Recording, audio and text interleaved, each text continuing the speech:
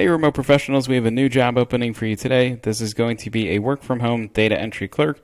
This is basically an entry level position, guys. They look like they want a little experience for some of the tasks that you're going to do, but you don't necessarily have to have been a data entry specialist, okay? This is also going to be for the United States, full time position, 27 to $35 per hour. This is going to be through GoHire. They are a staffing company and you're going to be working for a dentistry office, I believe you should still get some benefits from this because you are going to be full time.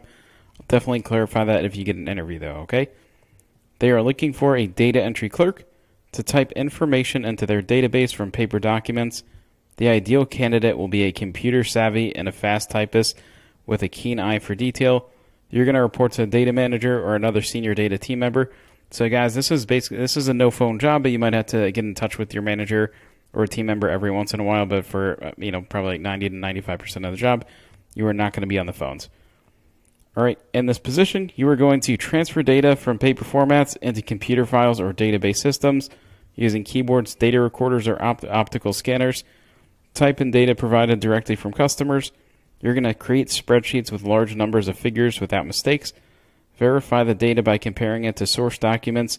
You're going to update existing uh, data you're also going to retrieve data from the database or electronic files as requested, perform regular backups to ensure data preservation, sort and organize paperwork after entering data to ensure it's not lost.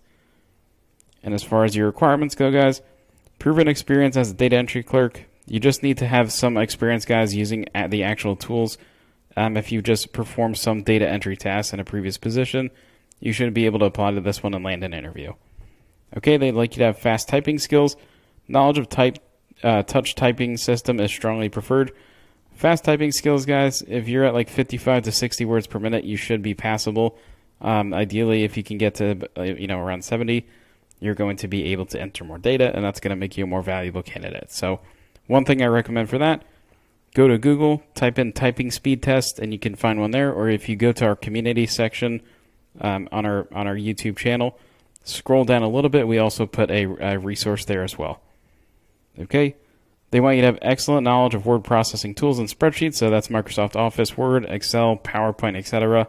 Working knowledge of office equipment and computer hardware, basic understanding of databases, good command of the English language, oral and written, as well as some customer service skills, attention to detail, and a high school degree or diploma.